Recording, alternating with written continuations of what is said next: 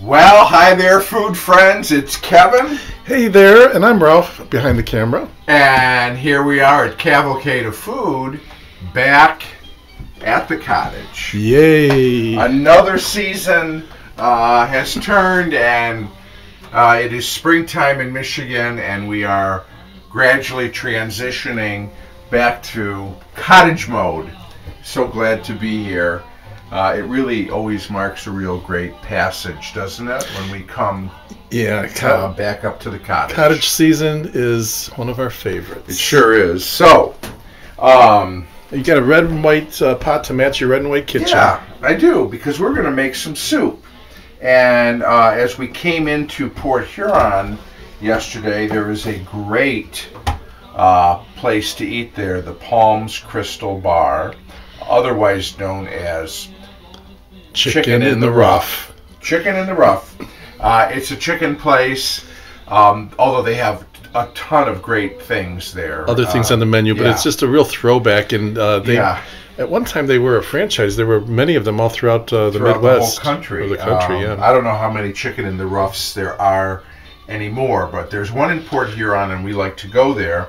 And one of the things on the menu that we especially love is their homemade cream of mushroom soup. So that inspired said we're going to make some cream of mushroom soup, and food. you know we use cream of mushroom soup uh, like the stuff out of the can, uh, as we call it Polish gravy Or step saver. step saver and we use it when we make city chicken we've used it in our polish spaghetti and a couple other casseroles um, however this is going to be soup to eat and enjoy we're going to have soup and Hearty some wonderful soup. bread Looks like you got a lot of mushrooms going on. so too. I do have. I have two pounds of mushrooms, and what I've got is I've got the regular white button mushrooms, as they're often called, and then I've got these great little mini portobello mushrooms.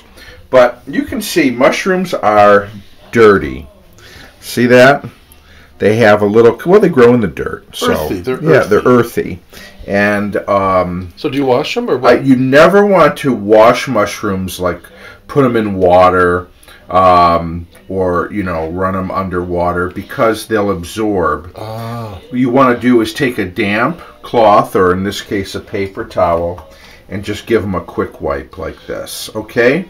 Now also because we're making soup, sometimes people throw the stems out and they just want the caps. I'll eat the stems. Well, the stems actually have great, great mushroom flavor. yeah. Now, sometimes the end of the stem, like this, is a little dried out.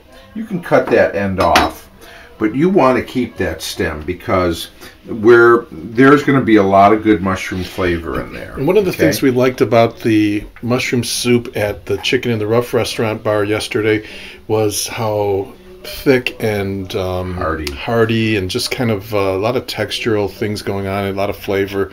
So I think one of your ideas was to make sure that the stock is thick, that you have uh, you know yeah. some substance Well, it's to a, it. plus it's a cream soup. Right, but I mean the mushrooms. You're, you're. I imagine you're going to be cutting them in a rather, you know, thick way. Yes, we're gonna. I'm gonna. I'm gonna just sort of chunk up these mushrooms. I'm not going to.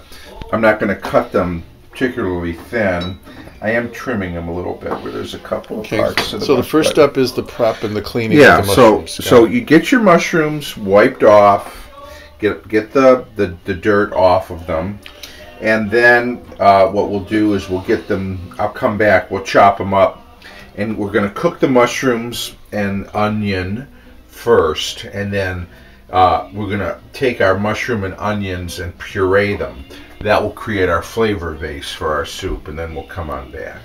Okay, we like to play music that we've just recently acquired, and I didn't know what was appropriate for Like, what am I going to play for mushrooms? And we found this record. It's called "There's Nothing Like an Old Hippie." It's Homer and Jethro, and I thought, you know, hippies like mushrooms, and there's uh, Homer. Are different kind or- of mushrooms. Oh, well, there's Homer or Jethro smoking a banana p- on the cover, and I thought, but anyway, we hope it works out as good background music, and if Yeah. not, we've got Roy Orbison on deck. Okay, so you can see what I'm doing here, Ralph. Yeah, they sure look easy to cut. Mushrooms. well, they are because they're soft, and I'm just sort of chunking them up.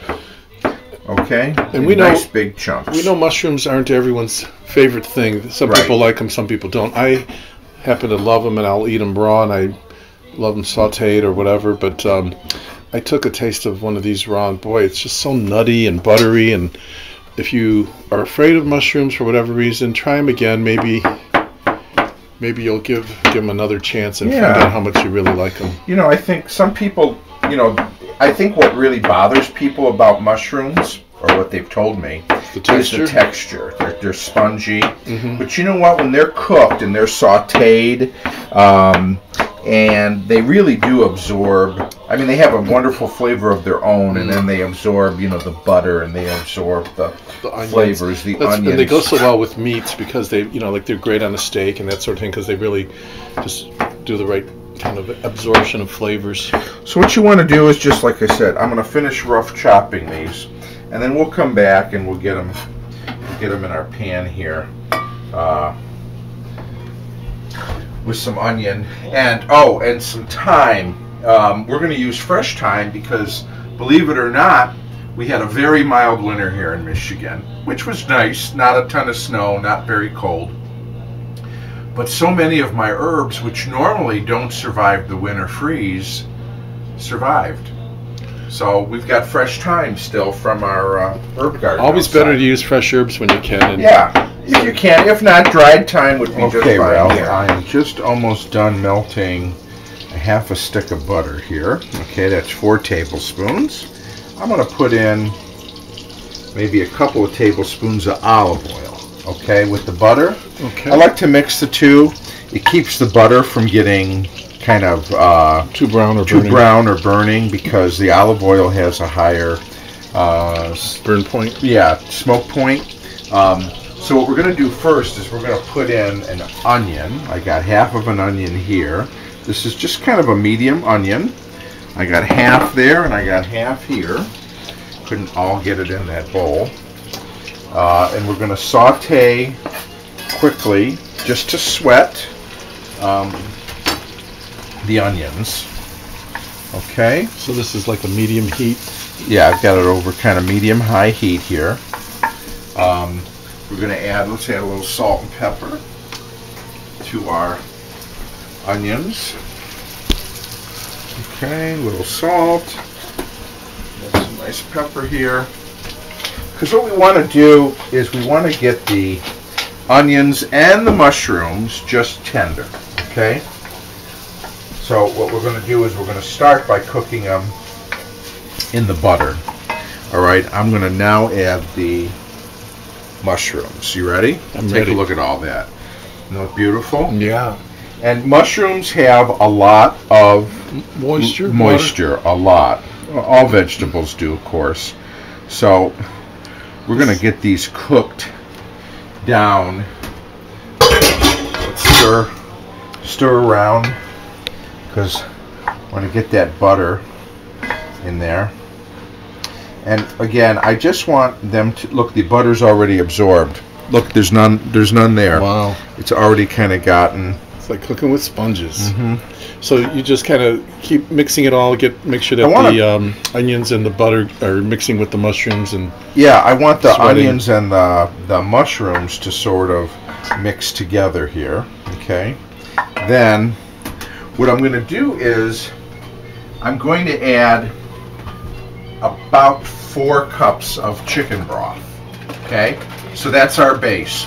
If you wanted to keep this a completely vegetarian soup, uh, you could use vegetable broth. Okay, couldn't do a vegan soup really uh, because we're gonna have to add cream. half and half. Um, but you could certainly keep this vegetarian. All right, so I'm going to put this in here. And all we want to do, Ralph, is we want this to get the uh, onions and the mushrooms tender. So these are going to cook. So this liquid acts as a sort of a tenderizer. Yeah, and I mean they've got to cook in something. They can't Right. cook dry. So we're going to have them cook for maybe 10 or 15 minutes and now let's put in some of our wonderful fresh thyme. I'm going to put in a couple of sprigs. We don't want the stems. We just want to pull back on the leaves. right? We top, start at the top and we kind of pull the leaves backwards, and they just kind of kind of come right off. Okay. So we're going to bring this up to a boil, and then we're going to turn it down, and we're going to let these mushrooms and onions cook until they're nice and tender, because then this is basically making our mushroom base, our mushroom flavor. Looks like you're putting a voodoo hex on it. Then we're gonna we're gonna take these mushrooms and onions and chicken broth, and we're gonna puree it in the blender. ah, Uh, that's how it gets, makes it um, creamy and. And and then and then we're gonna bring it back with the cream and some other ingredients. All right? But it's still going to be a chunky soup, right? Yes, because I'm gonna reserve some of these Oh. to to fold in. Yes. Okay. Gotcha. Okay, but Great. we we can't do it with all of this. We Okay. got to get our flavor So from is somewhere. This, is this chicken broth acting as the liquid that it boils, and is it going to like really reduce these uh, mushrooms and flatten them out and squash Yes, them the, down? the mushrooms will, as this thing comes up to heat, the mushrooms will contract, okay, and it, it'll all come together. You'll Okay. see, Ralph. So it's been 15 minutes, been simmering away. Check it out. oh yeah. See? Oh yeah. Look how dark the broth, okay, Oh, this and the smell. aroma. Are you getting that? Okay, Mhm, that the really. kitchen smells very mushroomy, very uh, deep, deep aromas of the onions and butter, the mushrooms. which is exactly what we want. So what I'm going to do is I'm going to just take move this over here. So if it wasn't a cream of mushroom soup, would this be where you would just kind of leave it? Uh, you could. Um, I still think you know. I mean, you wouldn't. This is too. You wouldn't eat this as a soup, but you could still puree and then come back, and you could add more broth. Okay, if you wanted to make it a cream. If you didn't want to make it a cream soup. Yeah, we have to do our friend Mike's uh, very Polish dark uh, mushroom soup, but sometimes it's not a cream soup. Right. Um, okay, so what I'm going to do now is we're going to just put this, I'm going to do this in a couple of stages, okay? And we're going to puree this. All right? So you're transferring the hot. To here. Now, in whenever stages. you are putting something hot in the blender, You always have to stand back. you and you should not only just stand back, to get a towel, okay, be safe, and we're gonna put this kind of over the top a little bit here. Because it tends to explode. Well, it can. Because you have the heat, right? That looks like a good blender, though. So Yeah, but any blender, it's just it's it's the it's the uh, act of, of of doing something that is hot. See, some of it even came out. Yeah, but seeing steam come through the top. Yeah, look at that. Okay, Wow. but so look at there's the puree. So you don't have to let it Isn't cool that down. beautiful? No, before you pour it in? I mean you could, but you know we're not. Wow. No, you don't have to. All right, so now we're gonna do another batch. Okay, and then you All said right. you're going to leave some to keep it chunky and Yes. thick and all that. Actually, I'm glad you reminded me because you know what? I'm going to take. I, I got a slotted spoon here, so let's take some of our mushrooms and onions, and we're going to leave that whole. Okay. Good. And what we'll do is we'll, we'll Add fold this back in to the soup. That should be enough right there. Okay. So we'll add that, that back into the soup. The rest I'll continue to make our our puree, our flavor puree here. Yum yum. Okay. So I've just put five tablespoons of butter in. There's our puree. Yeah, I just want to get a shot of that. Yeah, it's beautiful. Matter of fact, I'll bring it on over here. Okay. So I've got five tablespoons of butter that we're going to melt. Um, and once it's melted, I'm going to add five tablespoons of flour. Now, we've done this many times, Ralph, and you know what we're making, right? A roux. A roux. Exactly right. We're making a roux. And, uh, Tell people what that is. well, it's a fat and starch combination that adds a, uh, acts as a thickening agent. So for sauces and soups and gravies and things like that. So our fat is the uh, the butter, and our starch is the flour. That's my media profile, starch and fat combination. So as soon as this is melted here, we'll get our flour uh, added in. And so it's, of course, we're using the same pot that we, Mm-hmm. right, that we had our No reason to get anything else dirty. no reason. All right, I'm going to add our flour in here. And it's important that you kind of you want to cook the flour Yes, essentially. that I okay? learned from you. You never want the taste of raw, raw flour. flour. That So- raw flour does not So taste you good. Keep stirring till you make sure that it's all getting saturated Mm-hmm. and cooked. And that sometimes you hear people talk about a dark roux. Well, this is what we're making here. Here's your roux right here. You see it's kind of a, a really light blonde color. The longer it cooks, the darker it gets because the butter and the flour will brown. You can just the heat. imagine imagine how all these wonderful flavors complement each other. The nuttiness of the mushrooms and the butteriness Mm-hmm. of the onions and the uh, puree and the roux and the flour and everything. It just kind of adds to this wonderful mixture that creates this cream of mushroom soup. Yep. So, okay. So now we've got our our roux kind of pretty much there. Uh, you don't want it to get too dark. I'm going to put a little salt in here, and I'm going to put in a little pepper. Always brings out the flavor when you add a little salt and heightens it. Okay. Now we are going to gradually add in our All that puree. puree. So you need some big pots and some big bowls for this operation. Sure do. Maybe even a spatula. So, oh, the, the, the mushroom. Mm, yeah, I'm smelling it. It almost smells like it's maybe it's the butter, but it smells meaty, even though it's a non-meat soup. But look how dark it is. Look how dark it is. Well, this is before the cream or the sherry or anything. right, and so we're gonna we're gonna kind of stir this in. Now I've got a cup and a half of half and half here. You could use. I'm gonna take this down to a medium heat. Um, you could use uh, heavy cream here if you wanted to. Okay. I think that's a little too rich. So you're using a half and I'm half. using half and half. You could use whole milk. Uh, you could use. Um, okay, but you see it will lighten the color.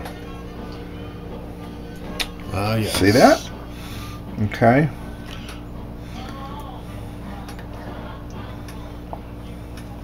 And as it comes up to a boil, it will thicken even more so. We're going to now add in this. The whole mushrooms we Yep, saved. the whole mushrooms. before the ones we didn't puree. Yeah, the ones that didn't go in the blender. And I'm going to put in just a little couple. Oh, oh, no! Show folks what that was. Um, that is a whole nutmeg. Cherry bomb. Oh, a nutmeg. so, A whole nutmeg. Uh-oh. And what I wanted to do Ah. before it slipped out of my little fingers. so you were shaving that with that. just uh, putting a little. with and I'm that gonna wood go file. back to it. Yeah. Okay, with my microplane. Just a little bit of nutmeg. Yeah, because a little goes a long way, but it, Yep. but it does. Um, yeah, we're speaking about these nutty flavors, and Yeah, it nutmeg adds has that. it adds a certain depth of flavor. Okay. and if you put just the right amount, it won't be because sometimes people associate nutmeg with sweet baking and things, but it'll be just the right amount to um, to bring out these these nutty, meaty, buttery flavors. Yep. Now, once this kind of comes up to heat, we have one more ingredient to put in, which is optional. I'm going to put in, oh, maybe a tablespoon or two. Uh, I'll have to taste uh, of cooking sherry, of sherry, Okay. uh, and then that will be the last. You could omit that if you don't care for the taste of sherry. I think it really deepens the soups, like when you use it Those in a French onion. bubbling. Now we've Bubbling good. we've kind of been stirring this. It's come up to. I'm going to take it down, but now see how look how, look how beautiful it's You can thickened. see how thick it's getting from Mhm. the heat. So now that it's here at this stage, I'm going to add. I got a tablespoon of sherry here. Some for you, some for the pot. Um, let's stir that in. So you want to really kind of put that in at the end.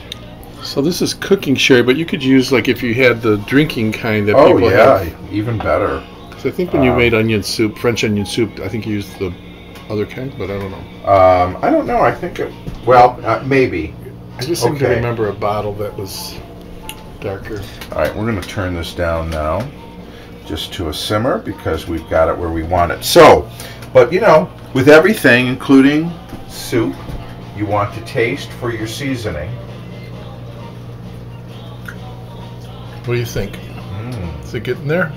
yeah. Now the sherry you add at the very end because you don't need to cook it into. You just needed to kind of flavor it at the add end. a flavor. okay, so how much did you add? I added a tablespoon. I actually might put in just a little bit more, maybe another half a tablespoon. And I'm going to also put in a little bit, a couple turns of pepper, because I like pepper. All right. So, there we go. Beautiful. And again, you want to taste it. Uh, I thought it was salty enough. Of course, you know the chicken broth, even though I do use a reduced sodium, Oh yeah. is fairly salty. And we did season as we went along, adding salt and pepper. So, But because Oh, it's that's good. reduced, it might need more. oh, that is good. So, mm. so there's our soup. Look at that, beautiful color. Um, Enough to feed a an army. And Ralph, you'll be happy because you know we reserved some of those Oh, I whole see. pieces of I mushroom. see some of those getting in there. Yep, good, good. So we're gonna put it like this. We got some bread we just took out of the oven. I had some fresh thyme still. So how about Some people say there's never enough time. we don't charge extra for the jokes, folks? Okay. Here it is, homemade cream of mushroom soup, um, with some nice bread and butter. A meal in itself. and if you think you don't like mushrooms, try this. You may It may your- surprise you. Yeah, you may have a new opinion on mushroom soup. So you know what? We had a great time making our soup. I'll take the ladle out. And you know what? We hope you had a good time being with us. Welcome cottage season once again, and we'll see you next time here at the cottage. And don't forget, the star of this show was the Kelvinator. That's right. And for those of you who will ask, in the next week or two, we'll do our annual stove switch out. I picked a, a new stove to put in and install this year. Oh joy! I can hardly wait. Yeah, so do your exercise. I will. I'll get we'll bulked be up. Schlepping a stove in a couple. I'll eat some soup and uh, some nice bread. Get some carved up weight. But anyway, yes, this was a great, uh, fun episode. Thank you for joining us. We'll see you See next, time. See you next time. time. I'm Cavalcade of Food. Bye. Bye, y'all.